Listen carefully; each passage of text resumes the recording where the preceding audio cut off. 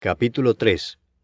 Por esta causa yo, Pablo, prisionero de Cristo Jesús por vosotros los gentiles, si es que habéis oído de la administración de la gracia de Dios que me fue dada para con vosotros, que por revelación me fue declarado el misterio, como antes lo he escrito brevemente, leyendo lo cual podéis entender cuál sea mi conocimiento en el misterio de Cristo, misterio que en otras generaciones no se dio a conocer a los hijos de los hombres, como ahora es revelado a sus santos apóstoles y profetas por el Espíritu,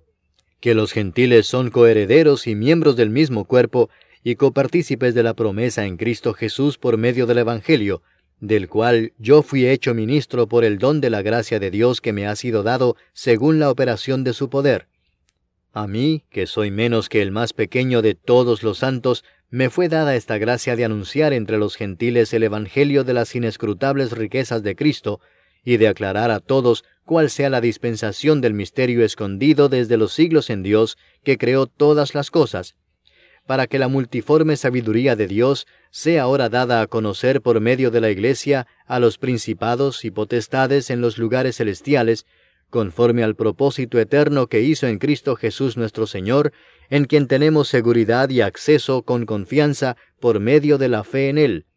Por lo cual pido que no desmayéis a causa de mis tribulaciones por vosotros, las cuales son vuestra gloria.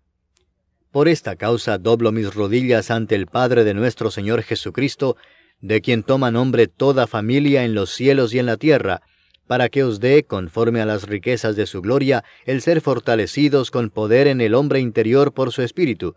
para que habite Cristo por la fe en vuestros corazones, a fin de que, arraigados y cimentados en amor, seáis plenamente capaces de comprender con todos los santos cuál sea la anchura, la longitud, la profundidad y la altura, y de conocer el amor de Cristo, que excede a todo conocimiento, para que seáis llenos de toda la plenitud de Dios.